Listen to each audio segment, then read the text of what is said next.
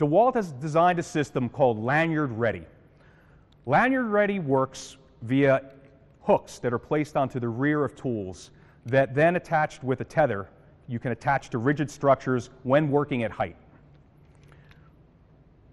These, once the hook is attached to a lanyard, it will protect the tool once the tool potentially is dropped. Like that. Lanyard ready grinders have additional features such as a non locking off tool trigger so that if the grinder is dropped, the tool has already been shut off when the user released his hand or her hand. So then, then the option is very simple to just pick the tool up, very safe, the blade isn't spinning any longer.